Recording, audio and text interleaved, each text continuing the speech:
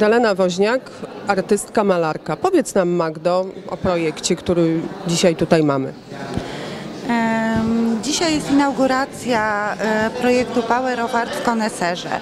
E, Jest to akcja zaplanowana na razie na dwa miesiące, luty i marzec. Przez te dwa miesiące będzie się odbywało cykl różnego rodzaju wydarzeń których główną nicią są wystawy.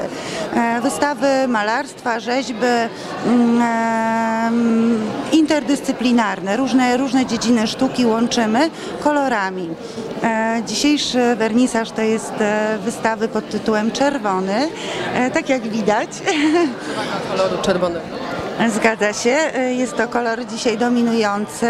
E, Dlaczego kolory? Dlatego, że kolor jest takim jednym z głównych czynników, jednym z głównych sposobów wyrazu artystycznego. E, On pokazuje emocje, pokazuje, e, ma, ma ogromną symbolikę e, i, i tutaj chcieliśmy właśnie na to zwrócić uwagę, a jednocześnie pomimo, że jest ten wspólny mianownik kolorystyczny, to jednak każda praca jest inna, pokazuje inny świat, inną stylistykę, inną estetykę. Czy tym projektem chcecie wprowadzić więcej kultury do stolicy? Cała misja Power of Art e, to jest akcja społeczna, która już chyba 8 lat funkcjonuje jako, jako właśnie działania społeczne, charytatywne. E, Jest oparta na promocji sztuki i kultury, głównie w Warszawie, no bo tutaj mamy największe możliwości działania. Ile będzie cykli tej, tej e, ile będzie serii do tego cyklu?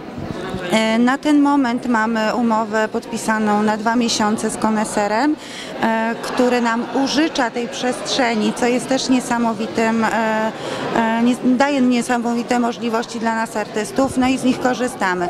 Przez te dwa miesiące będą cztery cykle, kolor czerwony, za w połowie lutego niebieski, później w marcu żółty i kolejny zielony. Oczywiście liczymy na kontynuację projektu na dalsze miesiące, ale to już zależy od e, konesera. A czy to jest tak, że musieliście prosić artystów o to, żeby chcieli wziąć udział w tym projekcie, czy, czy oni sami się e, zgłaszali? E, W projekcie bierze udział 12 artystów stałych, koordynatorów, bo tak jak wspomniałam, to jest akcja społeczna, czyli wszystko, co tutaj się dzieje, my sami zorganizowaliśmy, sami zrobiliśmy. Katalogi to jedna z artystek z, z partnerem e, stworzyli. E, Plakaty ktoś inny zaprojektował, ktoś, no wszystko jest naszym własnym sumptem zorganizowane. E, I tak, to jest ta dwunastka. Oprócz tego do każdej z wystaw są zapraszani artyści gościnni i oni są wyłaniani w drodze konkursu. I to już są artyści z całej Polski. A jakie są kryteria? Nawiązanie do tematu.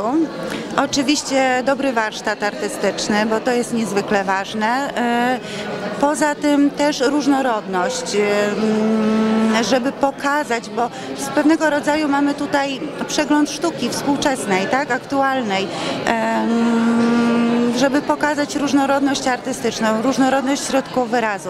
E, Niektóre prace, które tu widzimy, tak jak tamta instalacja, e, no byłby problem z pokazaniem jej w różnych miejscach ze względu na ograniczenia moralne na przykład, tak? My nie mamy ograniczeń, bo jesteśmy po prostu artystami i, i możemy zrobić wszystko.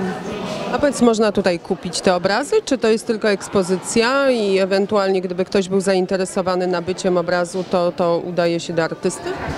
E, Dokładnie tak. My jako akcja społeczna nie prowadzimy działalności gospodarczej.